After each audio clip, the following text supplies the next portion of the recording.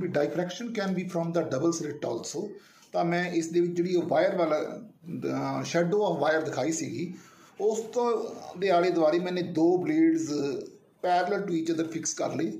ਔਰ ਇਹ ਉਸ ਤਰ੍ਹਾਂ ਹੀ ਦੋ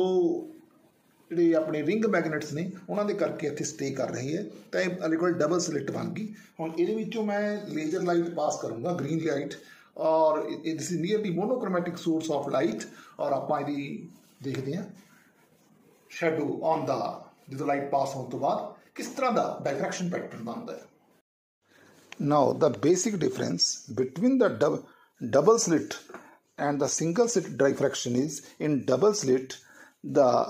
you see all the three fringes are of equal width and are of almost equal brightness. But in the case of single slit experiment the central one is more bright. Secondly